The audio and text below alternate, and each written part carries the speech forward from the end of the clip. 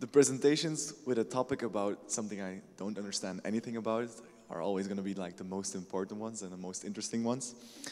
Alejandro will present something about EEG, or commonly known as electroencephalography, in a non-invasive method for the recording and the study of electrical activity of the brain taken from the scalp. Now, in other words, brain signals are used in many uh, different other ways, many other ways, like in research and entertainment purposes, such as neurofeedback, arts, and neurogaming. But nowadays, this technology is being adopted more and more in different and different industries. Now, Alejandro will de demonstrate a couple of demos, and a first approach to demonstrate is that EEG technologies are prone to common network and application attacks. So, and to give a very, very, very warm welcome to Alejandro. There you go. Thank you. Uh, well, good evening to everyone. Uh, first of all, thank you so much for being here, for your time, for staying until the end. I know that many of you have had some beers or had dinner, and I know that some oxygen from your brain is going to your stomach now, so please save some of that oxygen for here. And, well, this presentation, uh, I had the chance to uh, show this stuff in DEF CON this year, two months ago in Las Vegas, so I hope you like it. Uh, about me, um, I'm a consultant from the security company IOActive. We do different uh, kind of consulting services and research. Uh, I'm an enthusiast on fuzzing and programming. On fuzzing, I have developed some tools uh, like dot dot pwn for directory traversal uh, attacks with some other friend, friends. Uh, also, I developed another fuzzing tool that I presented in Black Hat Arsenal last year for ELF file format fuzzing.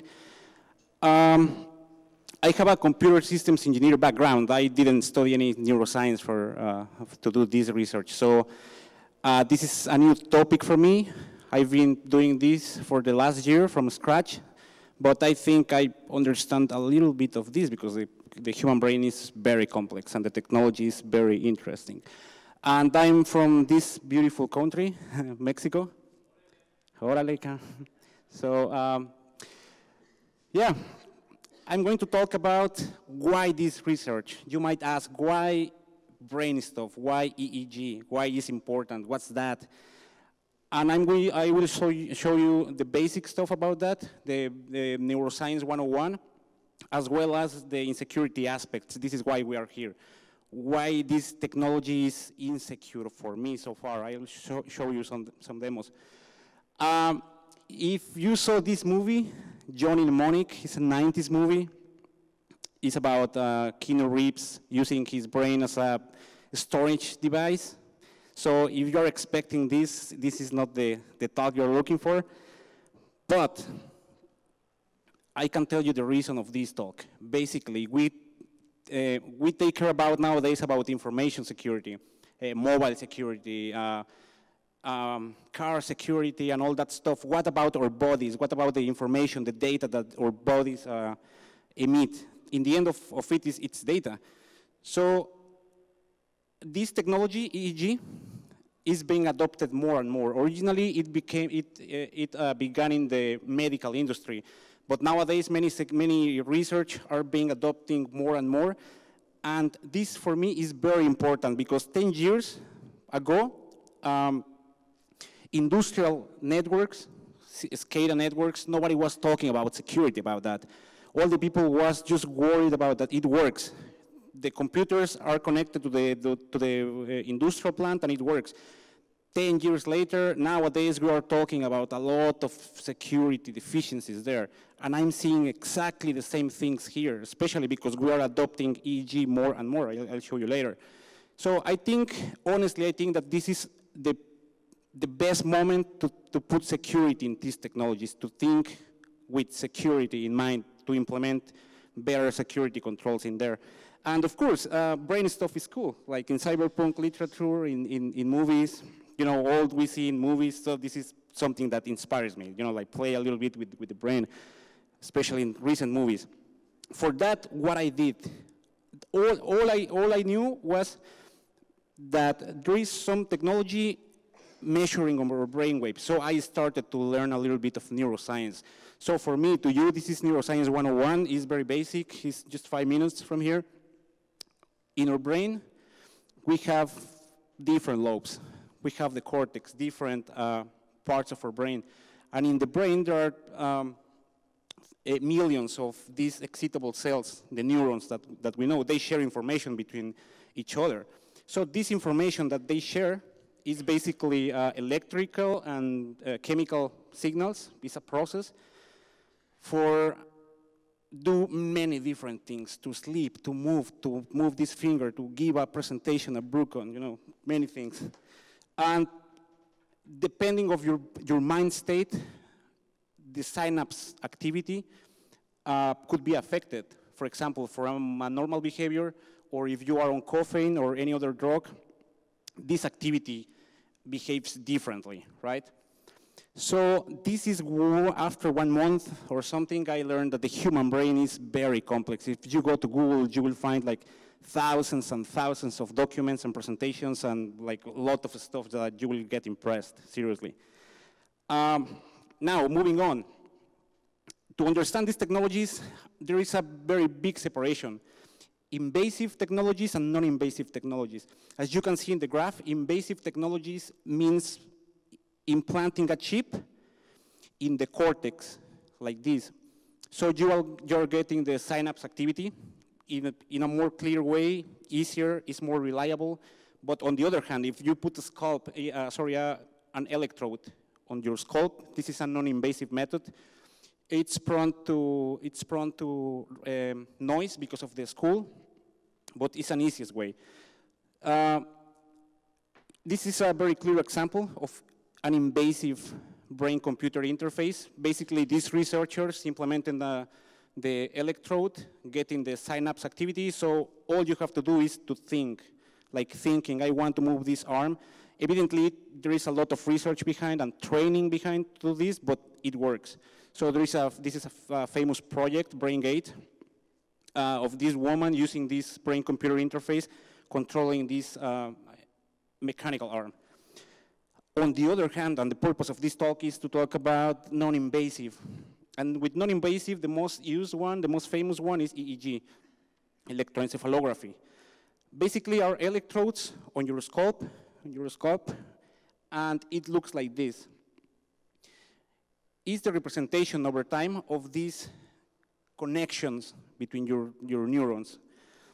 So you can see different pikes, different, uh, and it has different meanings, of course, but basically this is it. It's a representation of, of your brain activity. Uh, it's very easy to use. All you have to do is to put um, electrodes on your brain. Uh, it's susceptible to noise. I really like this quote by this famous neuroscientist, John Donog, Donoghue, I don't know how to say his name, sorry. Uh, the current brain technologies are like trying to listen to a conversation in a football stadium from a blimp, you know, these globes flying. So this is the best analogy I've heard now because there is a lot of noise to get information from your brain to pass through the school is, is, is, is very hard, but still, it works. Uh, okay, the activity is very small. It's measured in microvolts, and the main frequencies are also between 1 and, and 30 hertz.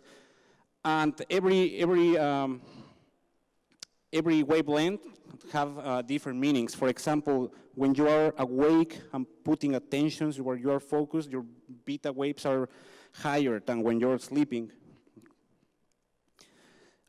Uh, there are different methods to put the scalp, the, the electrodes, because I, as I told you before, uh, different regions from the brain has different uh, objectives. So the signals are analog. In order to send them to a computer for processing or storage, there is a digital conversion. There are amplifiers in between, filters, etc. Sampling stuff. So this is a real EEG recording. Every line is an electrode and what the researchers or the doctors see here, they find different uh, patterns. They have different artifacts. An artifact is an event that is not related by the, uh, directly to the brain. For example, an artifact would be the sweating between uh, my body and the electrode, or could be uh, me blinking my eyes, blinking my eyes. This could affect the brain activity, but it's not uh, strictly related. I got this book, which is basically an atlas of EEG patterns.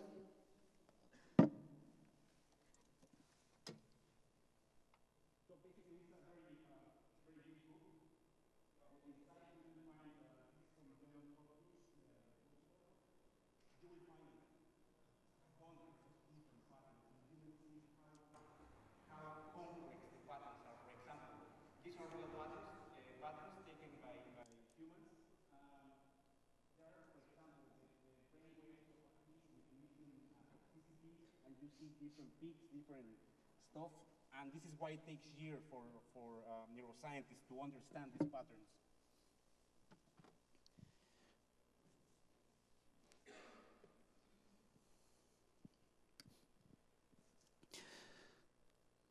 So now, how do we get this information? There is paid hardware, commercial hardware, which is very expensive, even thousands of dollar, dollars, and there are some consumer devices, which are these ones. NeuroSky MindWave. It, I just got this one for 100 bucks on Amazon.com. And this is the purpose of this talk. Now it's easy to get these devices and create some stuff, eh, this stuff, to create some research, to do different applications. Or on the other hand, you can do it yourself, open source software and hardware. Now, in the following slides, I want you to put attention. I want, I want you to put to be like a, like a malicious attacker. Think in all the uses uh, in the following slides and think all the different attack scenarios, that the attack vectors that you might, you might find. Uh, for example, um, this is the most used uh, use of EEG, clinical use, is for um, installing different disorders like seizures, sleeping disorders, uh, people with narcolepsy, etc. I will show you quickly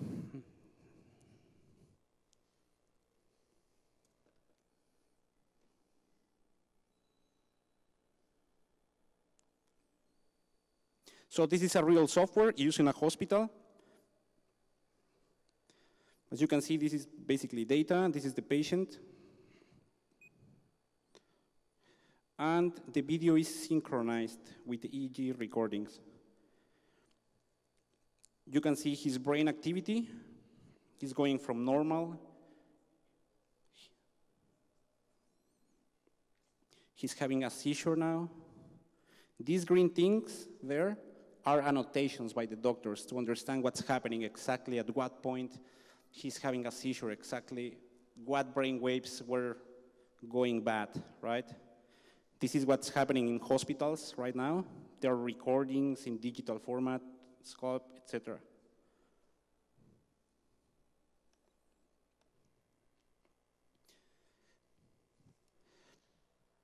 So this is the, the research, the clinical use. Now there is people using this data and putting it to the cloud to analyze them, to apply a complex algorithm to better understand different, um, different diseases, right? Uh, there is people playing with Arduino, with some other electronic boards to use these EEG devices to control any mechanical prostheses, like this mechanical ankle, or like this um, hand with an Arduino, Arduino board, or brain-to-brain -brain interface. It used to be like science fiction five years ago, 10 years ago.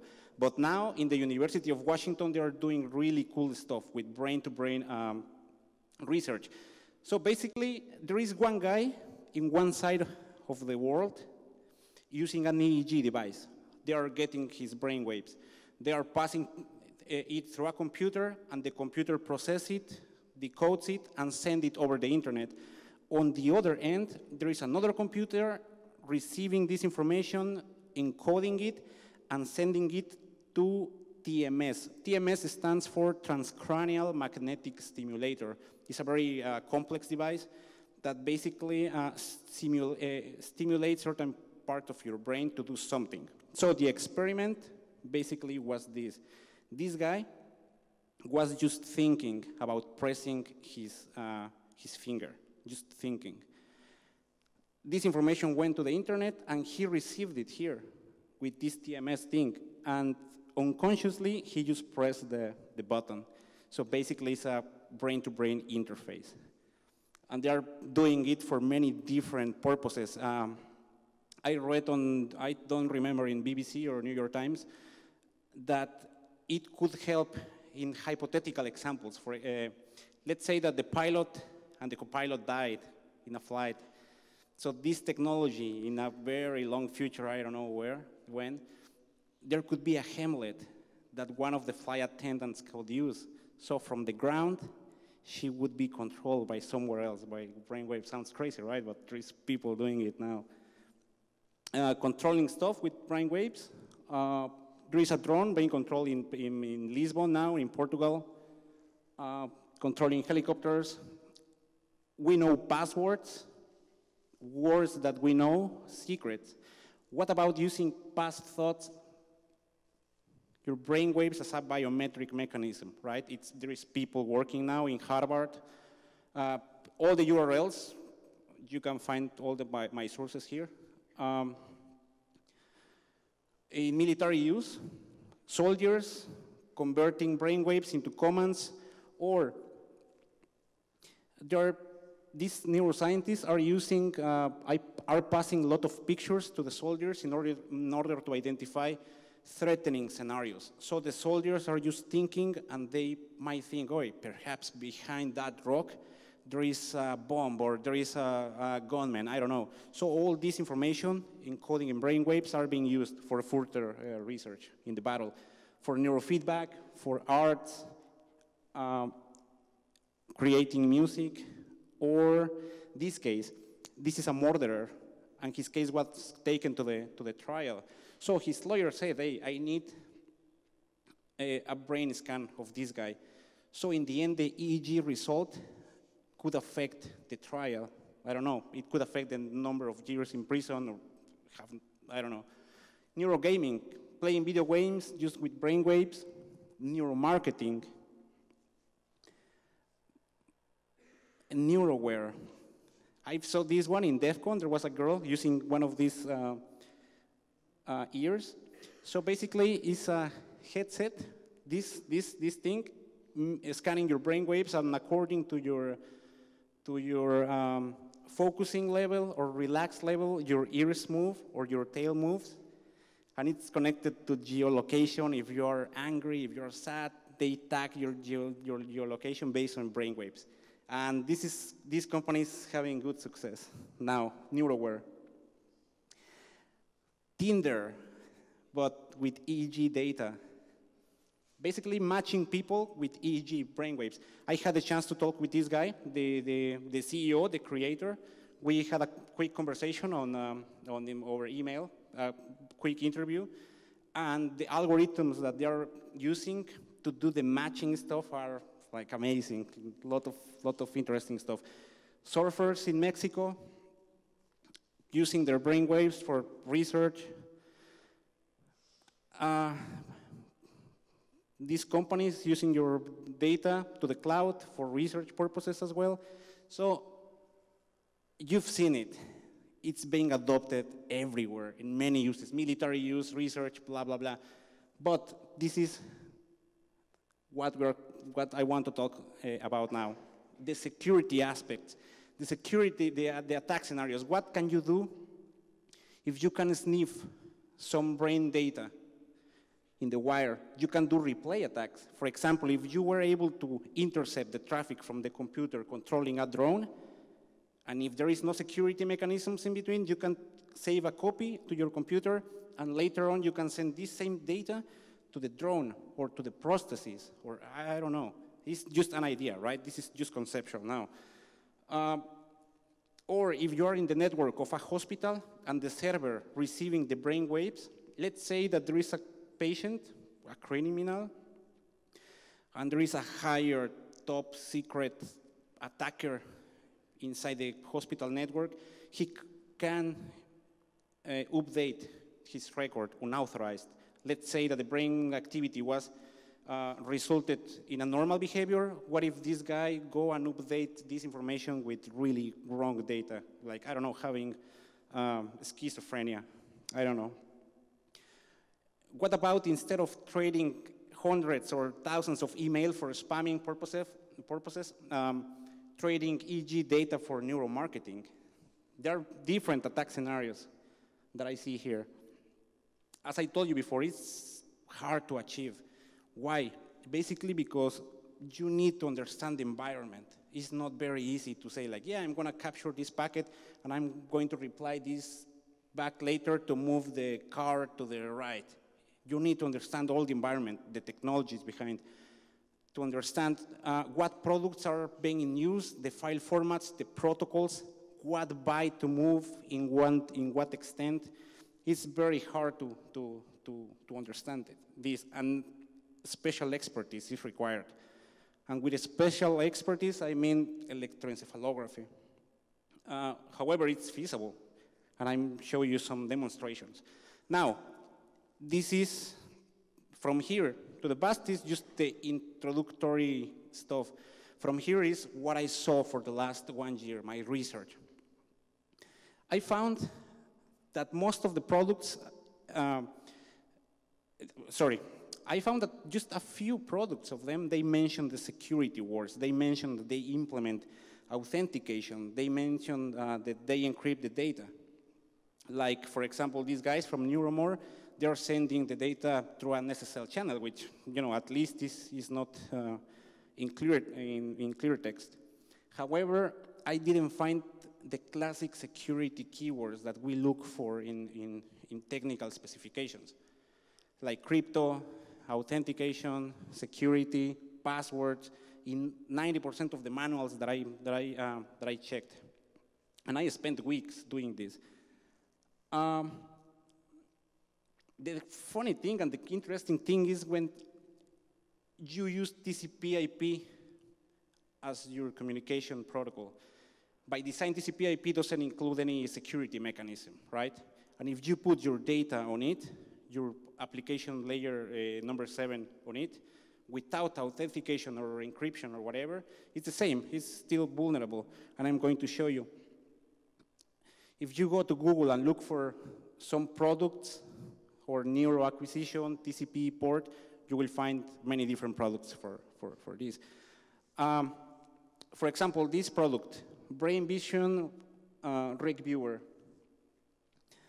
Real-time analysis uh, received over the network via TCP directly from the recorder.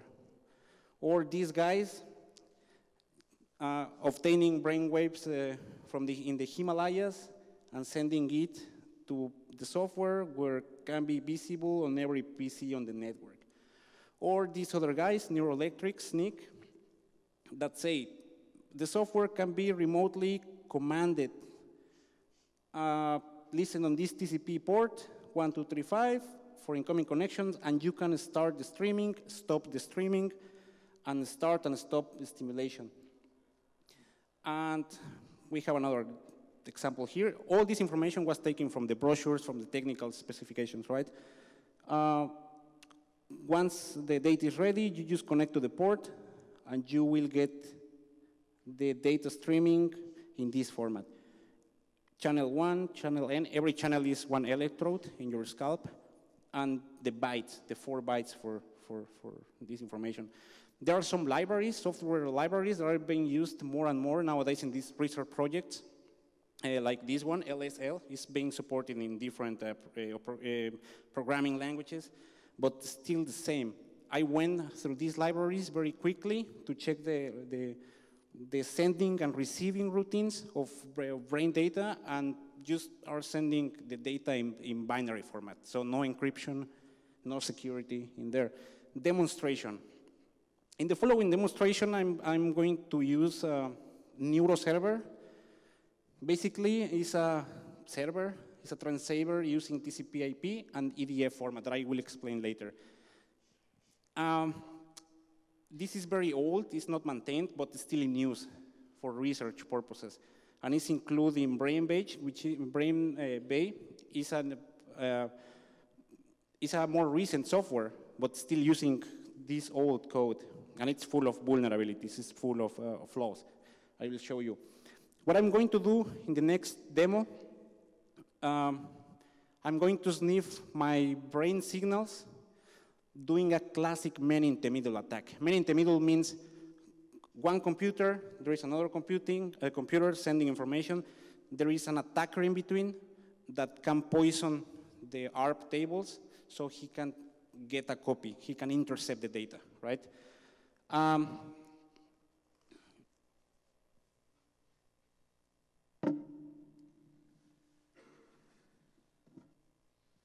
so just remember this data. So the acquisition device is NeuroSky, this one that I showed you. It will be connected to the Windows computer, and this will be sending my brain waves to the EEG server. This is a virtual machine. It's a computer named Daria, right?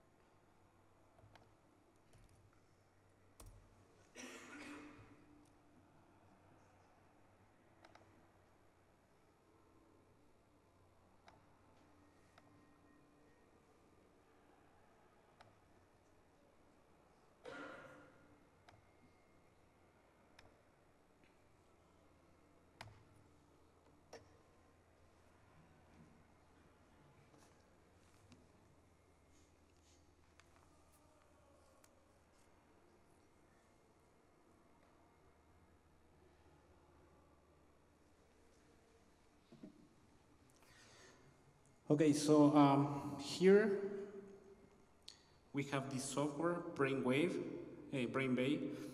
This is in the local computer, in the Windows. Uh, I just connected to the COM port 5, it's connected already. It's synchronized to Bluetooth, so my brain waves are going now here in Bluetooth. Now, uh, this device, MindWave, will connect to this oscilloscope, which is this one, just to visualize the, the signals, but it will be sending a copy to a TCP sender. And the TCP sender will be sending this data to NeuroServer. It's a basic uh, daemon. It's listening for connections. Okay? So, in between there will be an attacker in this computer.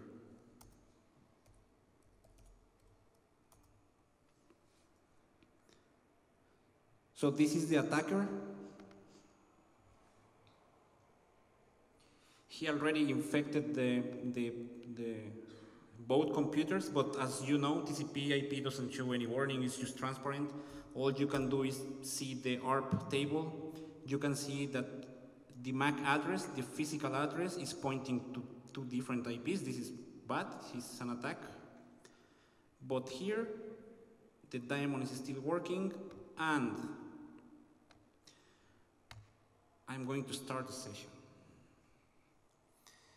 As you can see, these are my real-time brain waves. Sometimes I'm, at least I have, I have some, some, some waves.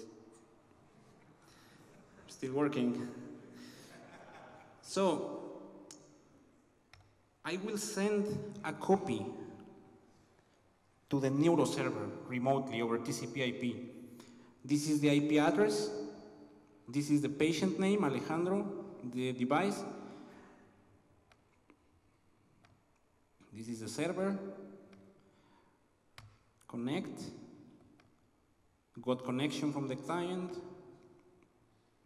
And I will start sending. So now it's sending thousands of packets, of EEG packets. And we can see it here in the server. Neuro server received this connection, this header from Alejandro using NeuroSky Wave, and is receiving thousands of packets. But the attacker is having a copy. This is the attacker, the malicious user on the network. He's receiving my brainwaves now, a copy of them. This is basically what happens, what would happen if there is no encryption in between, right, of the brainwaves. These values are encoded in a specific format of neuroserver. Every technology has their own specific formats. You need to know how to decode it. But I will talk about later about protocols and file formats. So this is what happens when there is no um, encryption. Now, what about in REST? How do we know how they are protect, uh, protecting our brain uh, data on the cloud? We don't know yet. We, there should be some assessments, some regulations in between. Now, if we talk about authentication, what is authentication? In just a few words, it's the process of determining whether someone or something is who or what it is declared to be. So there should be authentication mechanisms between these things, these devices, and the other ends. For example, the middleware in between the device and the EEG server, and the EEG server and the drone, or the car, or the prosthesis. There should be something that the prosthesis, or whatever it is, says like, hey, I'm receiving EEG data, I am receiving valid brain waves. Is this supposed, are, are they coming from the trusted source? This is basically authentication. There should be something in between. And in this product, Nick, is the same. There is no authentication, receiving data. And I'm going to show you another demo with the same uh, scenario, but in this case, I will not only be sniffing. The man in the middle attack will be catching the information and will be replacing some of this data. In this demo, from this device, I will send the patient name Alejandro to the, to the EEG server. For demonstration purposes only, I will change only my ASCII data, Alejandro, the ASCII, the, the characters. But it could be any single byte from the, from the streaming. It could be the brainwaves itself. It could be any byte in the, in the, in the whole uh, stream, right? So I will be the attacker again in the same computer. And let's say,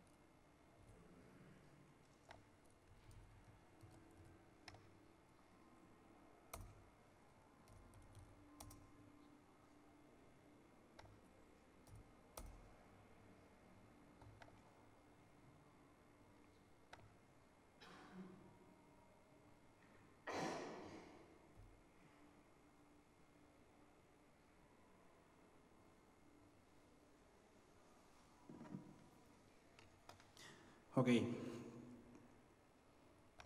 We have the server listening. We have the client in another computer reading my brainwaves. I'm going to send the brainwaves to the server in the hospital, let's say that is in a different apartment or whatever, or in the other side of the world through the internet, same thing. The patient name, Alejandro. I will connect to the server, yeah, we got connection.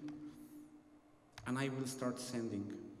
So now, it is sending my brainwaves to the server over TCP IP, but what the server received, the server received in the demonstration changed from Alejandro to John Connor. The same for demo. It could be the brainwaves itself. It could be any, any data itself. So this is the problem not, not having authentication, right? What about resilience? Resilience basically is the ability to support or recover from adversity. In this case, we are calling adversity denial of service attacks. Uh, I was very surprised when I saw that 90s technique were still killing 21st century technologies. I just created this basic C code, like 10,000 connections, to see what, what, what, what would happen if you connect, you create many sockets to these servers. And guess what? Yeah, the servers crashed, some of them. So a brainwave server as it, uh, the name says, is just a server. The different clients, clients could be a monitor uh, showing the, the brain waves in real time in a hospital, or it could be the doctor uh, walking on the halls um, with, the, with an iPad monitoring the, the, the, stuff in real time, connecting to the server. And I will show you a vulnerability that I found in this software, uh, OpenVibe. Uh, OpenVibe is software for uh, brain-computer interfaces and real-time neurosciences. So basically, there is a remote denial of service uh, vulnerability here. I'll show you.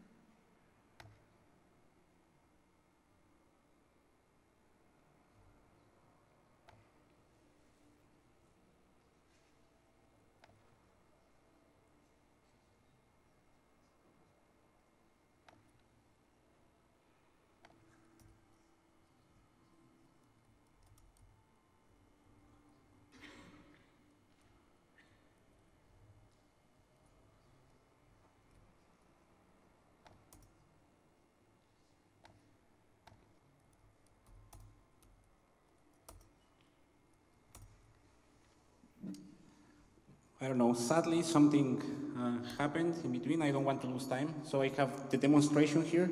It's recorded. It is the same software. It's OpenVibe. Basically, I'm configuring my communication port. Here, it's connecting. I connect to the driver in the Windows machine. I reproduce, I get the data, the brain waves. I open the designer to display the brain waves.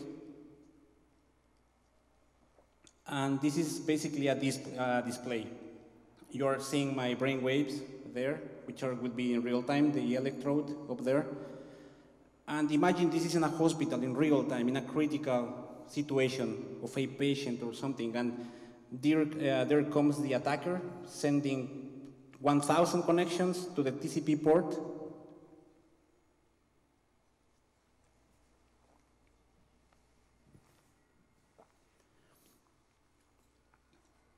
So you will see thousands or even hundreds of, of, of uh, connections, and suddenly it stops. The server dies. So no other client would be able to connect to the server because it's already crashed.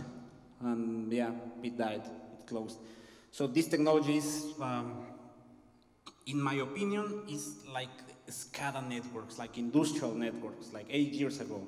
You used to send an Nmap scan or just a basic scan, and the PLCs, the, the, the industrial components died.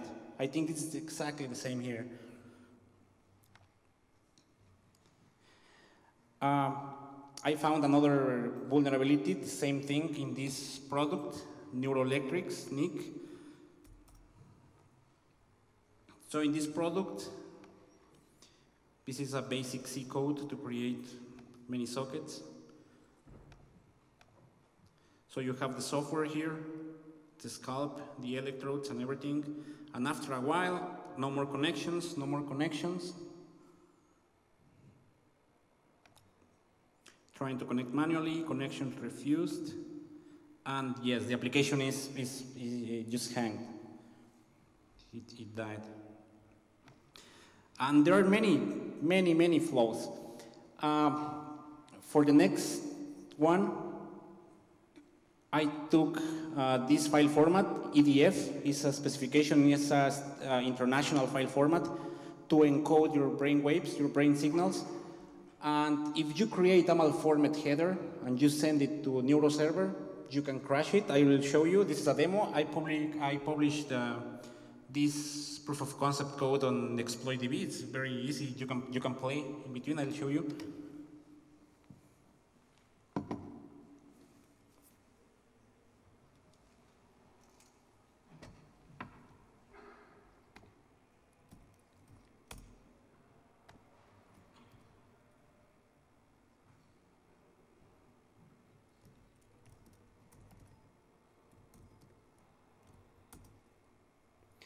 So this is the code. Basically, it's a malformed header sent, being sent to a socket.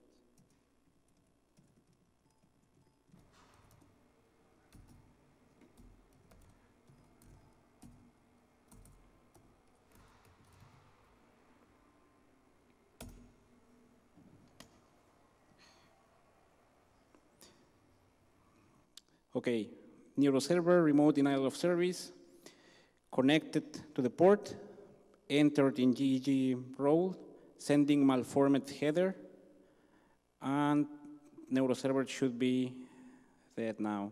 And yes, the server, which is should be alive, is just crashed. It's a, a beautiful assertion there, just core dumped.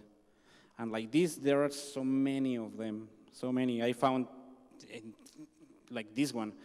This is basically um, an array of client structures, 16 max clients. But every time there is a new connection, there is no validation of this counter. They are just counting more and more and more. And after they, are, they, they have the index, they are referencing this index here through memset. They are putting this uh, uh, memory area to zero. So basically, it's an invalid memory uh, dereference. And that means that if you create a lot of sockets, you will get a beautiful uh, 6F segmentation fault. And you can see the memory that was trying to put to zero and blah, blah, blah. And I will touch this topic very quickly. I only have 10 minutes. The Tower of Babel of EEG file formats the doctors, the physicians, when they share information about their, their patients, they share uh, this information in file formats. How are our brain waves encoded in these file formats? I would say that it's like in any, any other file format, JPG, PDF, whatever. In the end, is the data and the metadata to understand this information, right? So um, the problem here is there are so many proprietary file formats. Every vendor is creating their own file format, their own technology, their own uh, interpretation there. And this is a problem because in the old times there was a problem, a compatibility problem between hospitals and doctors, right? Uh, this is why in 92 and 2003, they created EDF, like a standard uh, file format. Uh, so it took me weeks, again, to go through brochures, manuals, specifications to create this table. What I did, I looked on the internet, the vendor name, the product name, software or hardware, and I put different columns of the supported file format, and in the end resulted that most of them have their own proprietary file format and EDF. So I decided to play a little bit with EDF. Uh, EDF is just, as I said, a bunch of bytes. And as a bunch of bytes, there are parsing. And in parsing, you will find the same problems as, as parsing any other kind of stuff. You will find buffer overflows, memory corruption, arithmetic calculations. Um, but this is a very uh, unexplored file format. You know, the, the attack scenarios here, the attack, uh, the attack surface is very reduced. It's a very specialized file format. The bad guys are not going to, uh, to exploit buffer overflows and this kind of stuff because only the physicians or the neuroscientists, they have this kind of software. But still, it's just for fun. If you are learning exploitation and buffer overflows and fuzzing, you can play a little bit with this software and you will find a lot of information here. Um, they're using insecure functions. So to save time, I did trivial fuzzing, just basically file format fuzzing using the fuzzer of a friend, of a coworker, mangle.c. I, uh, the samples, the test cases, I use my own brain signals uh, saved in an EDF format, and I downloaded some of them from, some others from Physionet. Physionet is uh, a database of psychological signals, so you can download there and open in your viewer, in your browser, and you, you can corrupt these files to open later in your, in your applications, right? So in the end, I, this is my fuzzing uh, uh, journal. I create, these are my, my test cases, the, fuzz, the fuzzer that I used, how many bytes specifically selected from the header, uh, the percentage, uh, how many test cases, and it was very easy to find, you know, like many bugs in different software.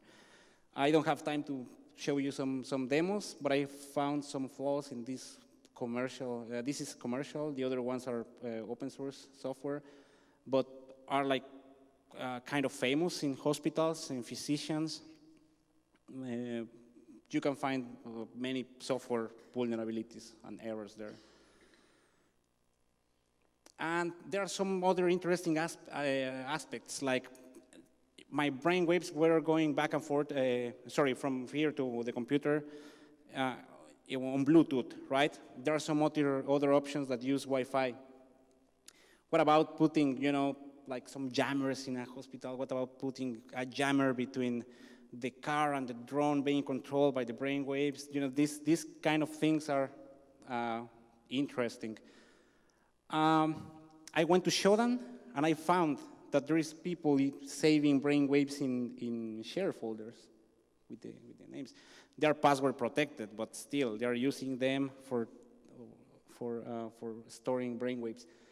Shodan on remote desktop. I found this whole solution, which, were, which was implemented in three computers, a database computer, a monitor uh, station, and yes, they are accessible through the Internet of Things. I would say like Internet of brainwaves or whatever. And yeah, supported by the beautiful Windows XP there is a lot of security uh, research uh, still uh, being done nowadays about uh, brainwave stuff. Um, we need to talk more about privacy, who is in charge of it, guidelines. I went to this website, American Clinical Neurophysiology Society, and I found guidelines, recommended best practices and stuff. And they're kind of old, in one of them is guidelines for recording clinical EEG on digital media. Yeah, to use magnetic, ma magnetic storage and CD-ROMs and stuff like that. It's, it's very old.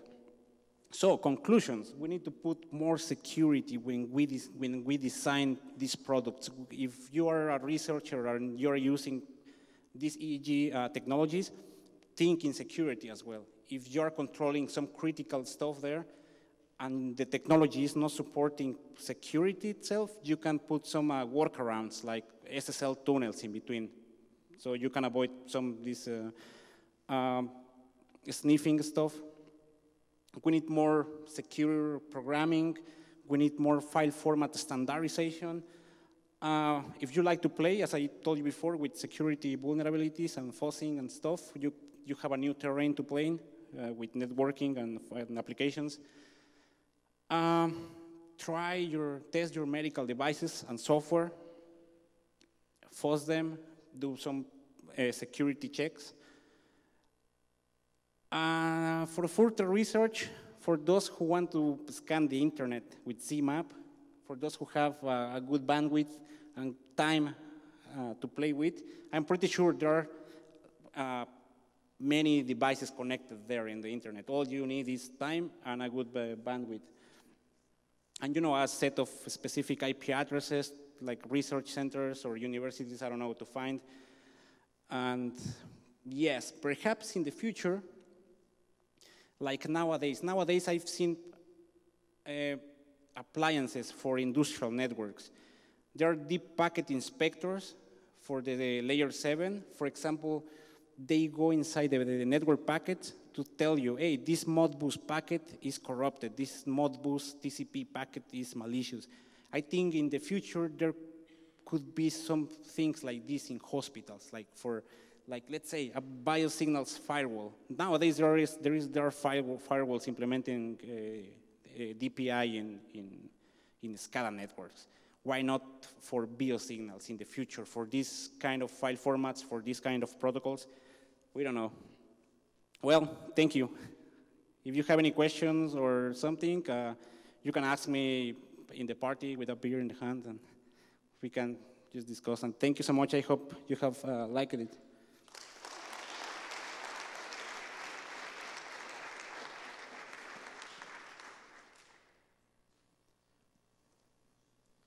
But if there is any question now from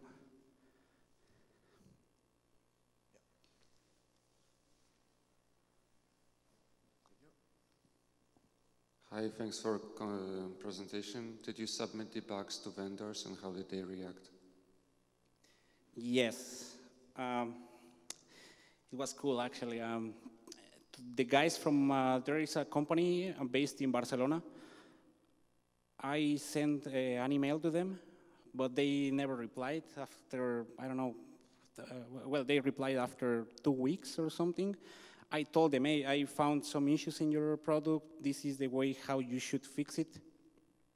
But they reply uh, two weeks later in the proper way, like, oh, thank you so much for reporting these issues for um, uh, to us. We're going to patch it later.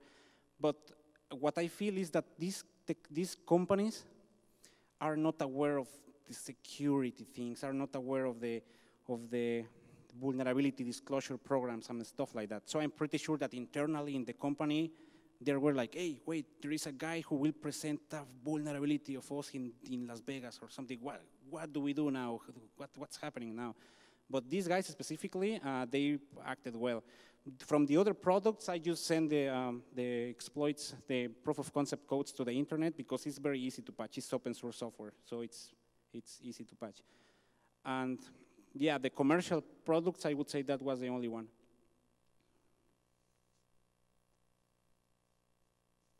Any other question?